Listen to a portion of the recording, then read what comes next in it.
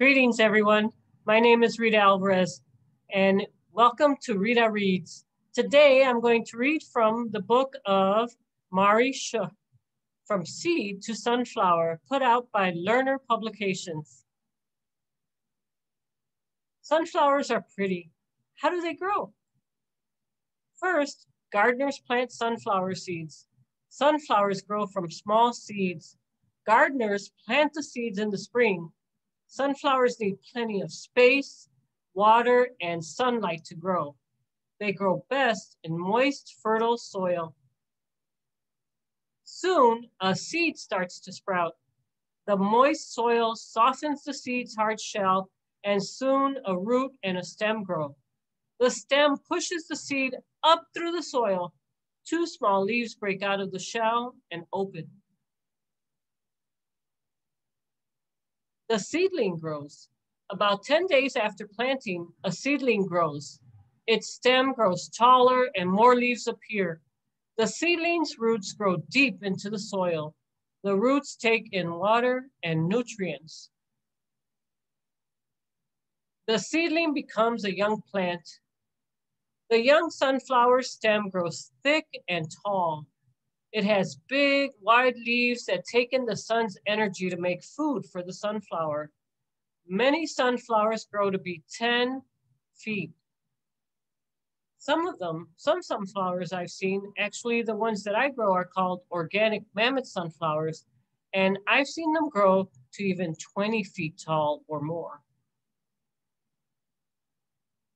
The sunflower blooms. The bud opens and the sunflower blooms. Its petals uncurl and spread out. The sunflower's head can be about one foot wide.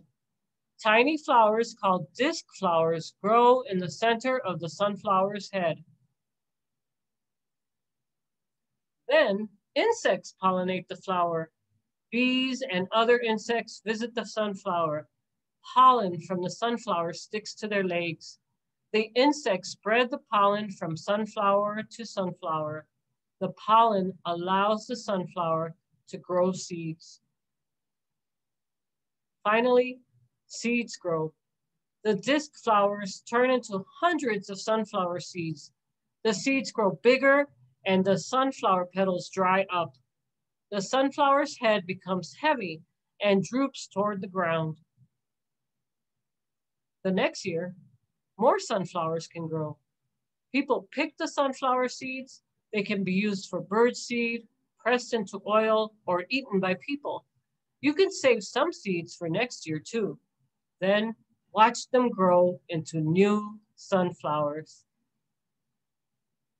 So some of the words and some of the terms we used in our book today are blooms. And what are blooms? Blooms open up into a flower. Bud, a flower that has not yet appeared fertile. Fertile is good for growing plants and crops. We remember we talked about fertile soil and we saw the deep, dark soil that the sunflower seeds were planted in by the gardener.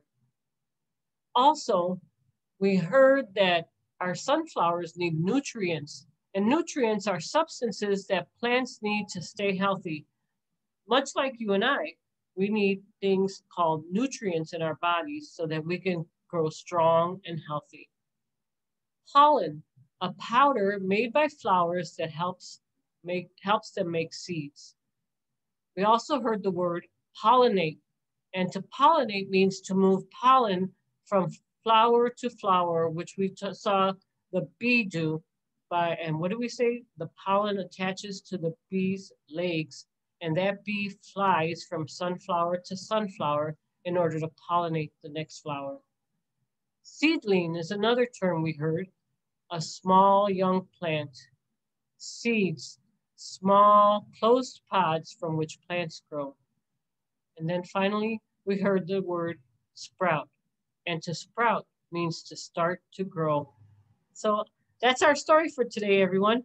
I hope you enjoyed it. Take care and don't forget to plant plenty of sunflowers.